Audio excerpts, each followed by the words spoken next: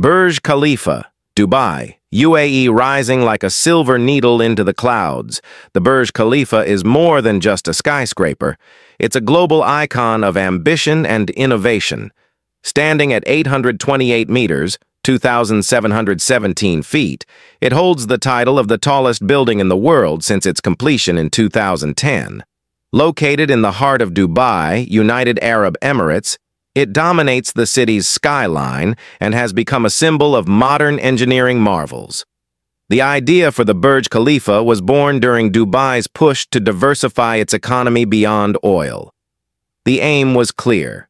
Create a structure so breathtaking that it would attract millions of visitors and cement Dubai's place on the world stage. Designed by the American architectural firm Skidmore, Owings, and Merrill, led by architect Adrian Smith, the building's design draws inspiration from the desert flower Hymenocallis, with a triple-lobed footprint for stability and aesthetics. The Burj Khalifa is not just tall, it's a city in the sky. It houses luxury residences, corporate offices, the prestigious Armani Hotel, and observation decks that offer unmatched panoramic views. The At the Top observation deck on the 148th floor is one of the highest in the world, attracting millions of tourists each year. Engineering this giant required groundbreaking solutions. Its core is made from reinforced concrete, while the exterior features reflective glazing and aluminum to withstand Dubai's extreme temperatures. The tower's spire alone measures over 200 meters, contributing significantly to its record-breaking height.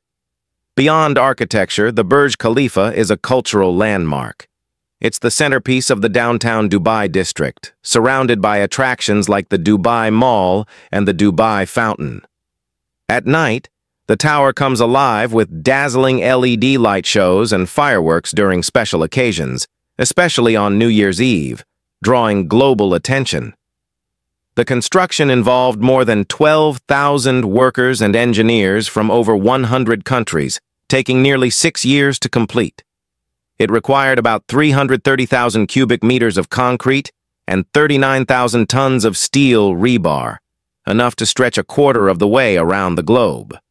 Today, the Burj Khalifa stands as a testament to human ingenuity and the spirit of pushing limits. It's not just the tallest building, it's a vertical city, a masterpiece of design, and a beacon of possibility, proving that when vision meets determination, even the sky is not the limit.